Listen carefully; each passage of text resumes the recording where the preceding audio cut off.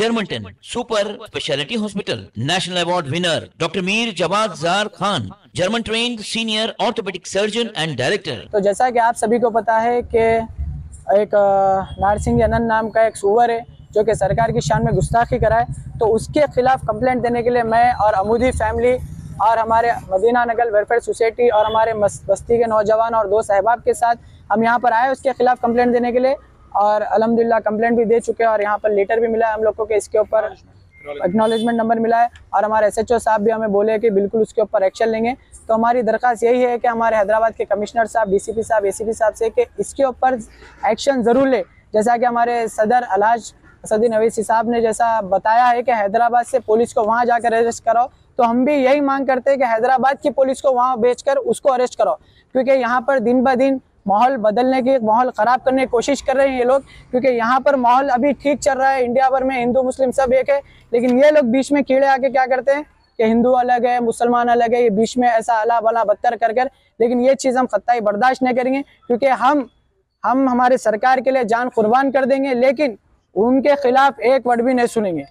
तो बस यही बोल रहे हैं कि हर दिन आए दिन हमारे दिल को चोट चोट पहुंचाई जा रही है मुसलमान के दिल को चोट पहुंचाई जा रही है अल्लाह बला और हमारे सार के सरकार की शान में गुस्ताखी है और साथ में हज़रत अली रजा के शान में भी गुस्ताखी की। तो हम इसकी सख्त मजम्मत करते हैं सख्त मजम्मत करते हैं और हमारे गाजियाबाद यूपी पुलिस से भी दरखास्त करते हैं कि वो सुअर के ऊपर ज़्यादा से ज़्यादा सख्त एक्शन ले क्योंकि उससे पहले भी उसने हेड स्पीच दिया था जेल को गया था फिर बेल पर बारह बेल पर भी बारह तो एक ही कंडीशन पे आ कि नेक्स्ट टाइम हेट स्पीच नहीं देना, यही कंडीशन पे वो बेल पे बारह लेकिन उसके बावजूद भी,